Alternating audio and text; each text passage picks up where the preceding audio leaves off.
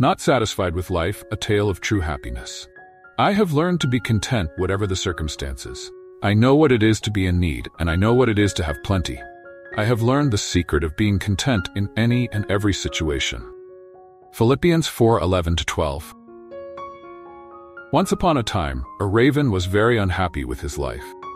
One day, he started crying while sitting on a branch of a tree. A monk was meditating beneath the tree when a drop of the raven's tears fell on his cheek.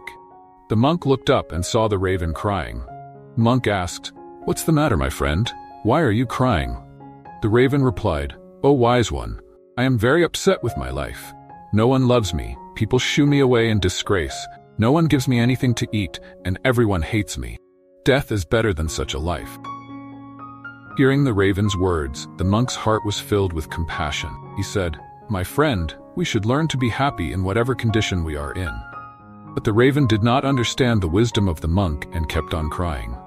The monk then said, Don't be upset. Tell me, what do you want to be? I can make you that with my mantra. The raven became happy and said, Oh, blessed one, if you want to do me a favor, then please make me a swan. The monk said, Okay, I will make you a swan. First, go to a swan and ask him whether he is happy with his life or not. You go and find out, and I will wait for you here. The raven happily flew away to meet a swan. He saw a swan swimming in a pond and approached him. How beautiful you are! You are as white as milk. Everyone loves you. You must be the happiest bird in the world. The swan said to the raven with a sad heart, No, my friend, I am not happy. There are so many beautiful colors in the world, but I don't have any color. White is a nothing color. I think the parrot must be the happiest bird in the world. He is so colorful. Hearing this, the raven flew away and reached a parrot. He said to the parrot, Oh parrot, you are so colorful and beautiful. You must be the happiest bird in the world. The parrot said to the raven with a sad heart, No, my friend, I am not happy. People keep parrots in cages. I am always afraid that someone may catch me and lock me up. I think the peacock is the happiest bird in the world. He is much more colorful than me. Hearing this, the raven flew around looking for a peacock. After searching for a long time, he finally found a peacock in a cage in a zoo. He saw hundreds of people gathered to see the peacock. After the people left, the raven approached the peacock and said, Dear peacock, you are so beautiful. Every day, thousands of people come to see you. And look at me, when people see me, they immediately shoo me away. I think you must be the happiest bird on the planet. The peacock replied sadly, I always thought I was the most beautiful and happy bird on the planet. But because of my beauty, I am entrapped in this zoo. When people pluck my colorful feathers to make decorative things, it hurts me a lot. I am not happy. The raven was surprised to hear this from the peacock.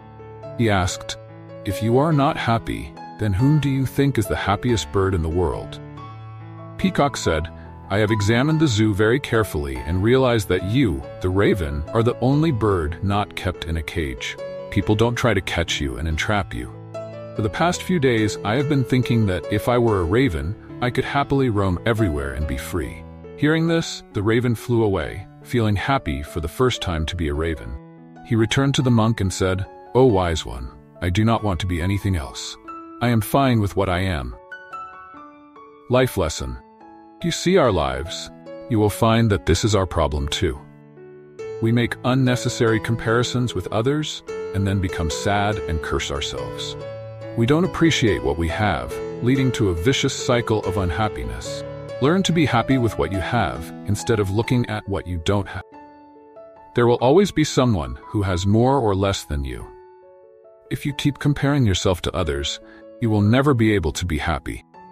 A person who is satisfied with what he or she has is the happiest person in the world. Thank you for watching, and always keep smiling. May God bless you with contentment and joy.